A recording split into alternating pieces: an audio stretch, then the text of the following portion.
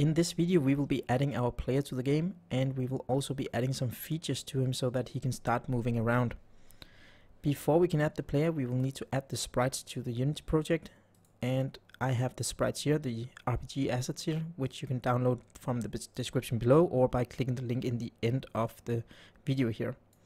Um, of course you don't need to use the same sprite as I do, if you have your own sprites you can also use them, but I'm going to show you how to do it with my sprites. So I have this folder called player and I'm simply going to go to my asset folder and create a new folder called sprites and then I'm going to drag the player into this folder and then all the sprites will be added to the project. So now the sprites has been loaded and if I open up the player you'll see something called attack, idle and walk. So right now we're not going to use any animation, we will simply just use one single sprite. But when I open up this folder you will see that all these sprites are actually in sprite sheets. Uh, except if I open attack there is something called attack adjusted where everything is um, as single sprites. So if you have a sprite sheet you will have to do the same as I do now and if you don't have a sprite sheet you can simply just uh, skip this little step here. But let's say we want him to have the idle animation or the idle sprite. So we select the idle folder and we select idle down uh, because I want idle down to be a uh, default uh, animation. I click on idle down and I select sprite editor and actually before I select the sprite editor I need to say that the sprite mode is a multiple sprite. So I indicate here that we are actually working on a, um, a sprite sheet. Then I say sprite editor, apply when this opens up, I can say slice and automatic, center pivot, that's fine, and slice. And then you'll see all the sprites have now been divided into single sprites. I click apply, and now it just sliced up the sprite sheet, so now I have every single idle sprite on its own. So I can actually select, let's say, I have idle down here, right? I can expand it and select any sprite. You can see the others I haven't done it with don't have this. You can see left side I only have left sides because I haven't sliced it up yet. So I take it down and I drag it into the scene and you'll see the character on the screen right now. so I think the character is quite large. Let's say this is our game window, right? And he takes up a lot of space. So let's make him a little smaller. Select down idle and find the pixels per unit and set it to 300 instead and click apply. So I'm going to go with 300. If you think he needs to be larger, then put a lower number. If you think he needs to be small, then put a larger number. For example, five, 400 or 500. Depends on what you want. So now we have down idle here. Let's rename it to uh, player. So this is our player. So now we have the player in the game. So the next thing we need to do is to make him move. Okay. So we can right click on the asset folder, click create, select a folder and write scripts. So this is our scripts folder. So first of all we need a player script. So let's right click, create, C sharp script and write player. Um, yeah, let's just call it player. So this script needs to be attached to the player. So you can take the player script and drag it onto the player here in your hierarchy. And when you have done that, you will see that the player script is actually sitting on the play object. So let's open up the script by double clicking on it. And I'm go just going to make my Visual Studio a little smaller here so you can see what I'm doing. And there we go. Okay, so this is the player script. First of all, we need him to be able to move, right? So let's make a new function. Let's make a function called public void move. So this function will make him move and my autocomplete just messed it up. So we have this function called move and it needs to make him move, okay? So if we want him to move, we need to change the transform component. So that means in the player here, we have to access position and we need to change this position from the script, right? So that's the transform and the position X or Y, for example, if we want to move up or down, we have to change this. So these are the things that we need to change from the script. So to do that, we simply say transform dot translate And then we need to give him the direction. Let's say we want to move him to the right. We say um, vector 2 dot right. So now he's moving to the right all the time. But if we save this and play the game, nothing is happening right now. And that's because we are never executing the move function. So we need to execute the move function by going to update and say move. So now we are moving. So if we save this and go back here, he's moving to the right very fast as you can see. Okay, so that's way too fast. So we need to give him a um, speed so we can adjust how fast he's moving, okay? So let's make a private float called speed. So we want to be able to set the speed from the inspector. And right now, if I select the player, I can't see anything called speed. But I would like to set it from here so I can adjust it during the gameplay or when I'm testing the game. Well, I could do like this, public float speed and save it.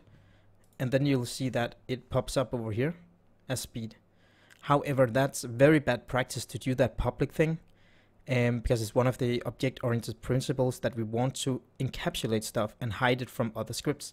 Because when something is public, I can go to any other script in the in the game and access the player and change the speed. So let's say we could actually change the player's speed from an enemy by mistake, and we don't want and want to hide it, and we want to control whoever accesses our speed. So this public thing here is very bad, because Unity actually serializes public fields by default, but we can actually also serialize a private field.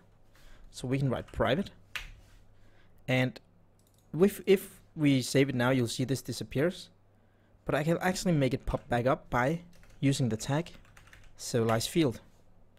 So now it's private and no one else than the player can access it because when something is private, it's only the player itself that can access it. Or the script itself that access it. And it pops up again because this one is serialized now. So now I can say, well, I want choose speed in my on my player, but I'm still not using it actually. So how do I do that? Well, in my move function, I need to add something to the calculation. I need to add the speed. So vector 2 dot right multiplied by speed multiplied by time dot delta time. So what is this? Well, time dot delta time is the time that has passed since the last update. If I take this time and multiply it with my speed and whatever direction I'm moving in, then my player will have the same movement speed on all uh, platforms, all computers. So let's say we run on my computer, um, at this uh, stationary computer, um, and the player moves with a certain speed.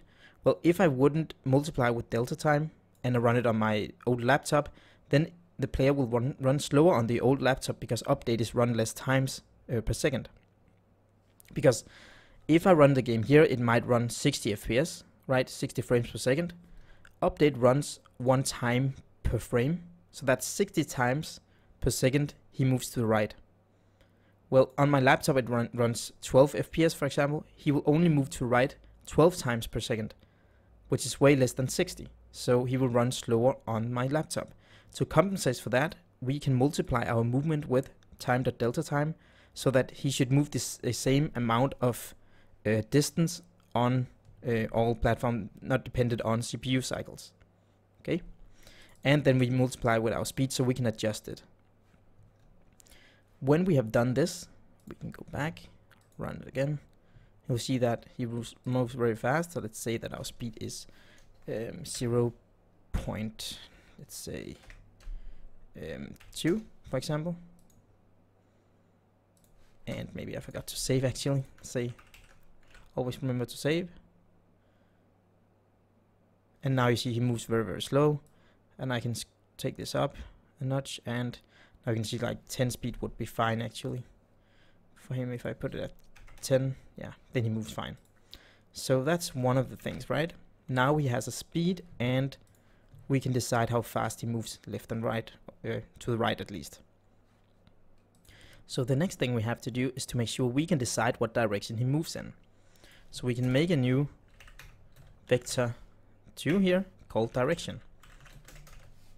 So this direction will decide where he's moving. So instead of using the vector 2 dot right here to translate him uh, from left to, to right, we can actually use our direction. That means if I would change this direction here, well then the direction he's moving in will change, right? So if I in start would say direction equals vector 2 dot uh, up, for example, and save this, then he will start moving up. As you can see now moves up because I changed this direction. So I will have to manipulate this direction with my keyboard. So let's make a new function here called um, get input.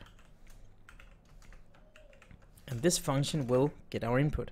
So if my key uh, input dot get key down key code dot w okay actually it's not get yeah let's say get key down or get key actually okay so there's something called get key down and get key get key down is only executed when you click the key down and get key is executed when you hold it down and we, we want to move upwards as long as we're holding down the key, not just when we just click it and move from one frame, right? So we need to look at W and A and S and D. So we need to look at when we are pressing W, A, S, and D. And when we do that, we will have to change the direction. So if you don't know this if statements, so the code in here will only execute if the condition up here is met, which means if I press W, all code I write in here will be executed. If I press A, all code I write in here will be executed and so on. That means if I say direction equals to vector 2 dot up, when I actually plus equal vector 2 dot up, when I press W, then you'll see that clear this and say up here direction equals vector 2 dot 0 so the reason that I'm doing this is that I add the vector here and if I don't zero it out it will be larger and larger he will run faster and faster for every loop um, so if I hold W down it will add vector 2 dot up to direction and he will keep moving faster and faster. I'm not interested in that. I want to keep the same speed. So after every loop, I will reset the direction. Okay, so now we're moving, but before we're moving, we will need to access get input or execute get input. So now we are getting our input. What keys are the player pressing? When we have pressed the keys, we translate him in the direction based on the keys we just pressed. So this is very simple right now, but it will be more complicated later when we start adding animations to this. So I press up, he moves upwards now. So I need to do the same for the rest. So if I press A, I'm going to the left, to the left. If I press S, it's vector 2 dot down. And if I press D, it's 2 dot right. Okay, so now we have set it up for all directions so I can play the game. And now you'll see that I can move this character around. He's a little bit too fast though. So let's put it at 5 speed. And now you'll see that he's moving slower. So right now you saw that if I change the speed now to 500 for example, and I move around, he moves 500. But when I stop playing the game, it resets to whatever it was before I played, if you don't know that. So every time, everything you change during play will always be resets when reset when you stop playing the game. So now we have a player that can move around in our world. Um, I think that's what we're going to do in this video. And in the next video, we will look at some more efficient scripts. We will create something called a character script and move some functionality over there so um, that we can actually expand this uh, this functionality to our enemies and so on. So thanks for watching. Thanks for watching my video. Please remember that InScope Studios is a community founder page, so please consider clicking the support link on the screen to see how you can support me and get something back in return.